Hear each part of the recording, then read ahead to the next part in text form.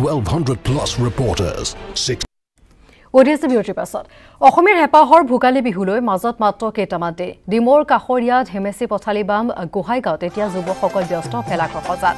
গাঁওখনৰ যুৱক দিলীপ দিহিঙীয়াৰ নেতৃত্বত সাজিছে প্ৰায় সত্তৰ ফুট উচ্চতাৰ আৰু পঞ্চাছ ফুট দৈৰ্ঘ্যৰ আহোম ৰাজত্বৰ কীৰ্তিচিহ্ন গড়গাঁৱৰ কাৰেংঘৰ আৰ্হিৰ সুন্দৰ ভেলাঘৰ আটোম টোকাৰিকৈ সজা এই ভেলাঘৰটোৱে সকলোৰে দৃষ্টি আকৰ্ষণ কৰিছে। ইতিমধ্যে নব্বৈ শতাংশ কাম সম্পূৰ্ণ হৈছে আৰু এতিয়া ভেলাঘৰৰ বাকৰিত গাঁৱৰ যুৱতী বোৱাৰী আই মাতৃসকলে মনৰ আনন্দত বিহু নাচিছে আৰু আগবঢ়াইছো ডিমৌৰ পৰা কৃষ্ণজ্যোতি দিহিঙীয়াৰ এক প্ৰতিবেদন। হেঁপাহৰ ভোগালী বিহুটি আহি পালেহি পদূলিমুখত। এতিয়া গা সাতখন আঠখন গাঁওবাসীৰ। মই উপস্থিত আছোঁ শিৱসাগৰ জিলাৰ ডিমৌ সমীপৰ ধেমেচি গোহাঁই গাঁৱত। আৰু ধেমেচি গোহাঁই গাঁৱৰ এইখন পথাৰতেই কেমেৰা পাৰ্চনে দেখাই আছে। কাৰেংঘৰ আৰ্হিত তেওঁলোকে নিৰ্মাণ কৰিছে এটা ভেলাঘৰ আৰু এই ভেলাঘৰৰ তলতে বৰ্তমান গাঁওবাসী আনন্দত আত্মহাৰা হৈ পৰিছে আৰু আহ, তেওঁলোকে ইয়াতে দিন ৰাত একাকাৰ কৰি তেওঁলোকে আহ, এই ভেলাঘৰটি তেওঁলোকে নিৰ্মাণ কৰিছে আৰু আমি পোনপটীয়াকৈ ইয়াৰ যিসকল লোক আছে লোকসকলৰ পৰা আমি তেওঁলোকৰ মন্তব্য জানিব বিচাৰিম। দাদা আহ, আপোনালোকৰ এই আহ, ভেলাঘৰটো কিমান দিন লাগিছে? বৰ্তমানৰ কিমান বাকী আছে বনাব? এইটো বাকী আছে অলপ অলপ কাম বাকী আছে। এইটো বনোৱা তিনিমাহ হৈ গ'ল দিন ৰাত কাম চলি আছে আমাৰ। আমাৰ ল'ৰা বেছিজন নাই ল'ৰা কম আছে আমাৰ। সৰু সৰু ল'ৰা আছে ডাঙৰ আমি ছজনমান আছোঁ আৰু। হয় আপোনালোকৰ ইয়াত কিমানডাল বৰ্তমান বাঁহ আৰু নৰা প্ৰয়োজন? কিমান ইয়াততো নৰা আমি দুহেজাৰ ওপৰত লাগ পঁচিছশ নৰা লাগিলে এতিয়ালৈকে বৰ্তমান আৰু লাগিব। আৰু ইয়াত বাঁহ তিনিশ বাঁহ মানে লাগিছে আৰু নৰা লাগিছে। টঙালে আমাৰ কাম হেৰি হৈছে।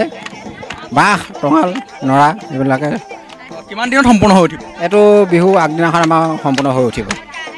অঁ হয় আচলতে দেখিবলৈ পাইছে যে এইসকল এই ইয়াৰ যিসকল মহিলা আছে যুৱতী আছে তেওঁলোকে আনন্দত বৰ্তমান আত্মহাৰা হৈ পৰিছে। তেওঁলোকে যিসকলে ইয়াত কাম কৰে তেওঁলোকক ইয়াতে চাহ জলপান দি তেওঁলোকক আদৰে আমি এগৰাকী বাইদেউ চলাইছোঁ কি ক'ব বাইদেউ কেনেকুৱা লাগিছে? আমাৰ আজি খুব ভাল লাগিছে। বিশেষকৈ মাঘৰ বিহুটো বৰ ভোগালী বিহু চিৰা পিঠা খোৱা বিহু। সেইকাৰণে আমি এতিয়া ভালেই পাইছোঁ। গোটেই মানুহ লগ লাগি এতিয়া এই ঘৰটো বনাইছে ৰংঘৰটো। তাৰপিছত ৰংঘৰ নহয় চৰি কাৰেংঘৰ। কাৰেংঘৰ বনাইছে ভাল লাগিছে। ল'ৰাখনক আমি সেই চাহ জলপান দিওঁহি। আৰু গধূলি কেনেকৈ শুই আছে কি কৰি আছে সেইবোৰ নিশা চাওঁহি। ঠিকনা নাই নহয় আজিকালি বেয়া বস্তুও খাব পাৰে। সেইকাৰণে আমি বাৰটা এটা বজাতো আমি সিহঁতক চাওঁহি মানে। আপোনালোকে এতিয়া ঘৰত কেনেকুৱা ধৰণৰ পিঠা পনা প্ৰস্তুতি কৰিছে? কোমল চাউল বনাইছোঁ সান্দহ বনালোঁ চিৰা খুন্দিলোঁ। আজি মই তেল পিঠাৰ কাৰণে শুকুৱাবৰ কাৰণে পিঠা খুন্দি আছিলোঁ। আধা খুন্দাকৈ মই ইয়ালৈ এতিয়া আহিছোঁ।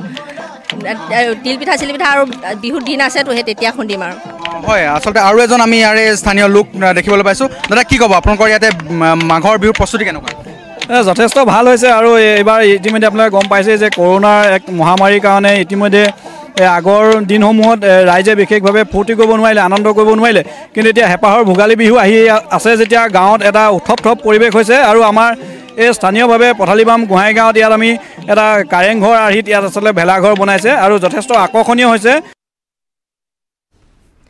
উচ্চতৰ মাধ্যমিক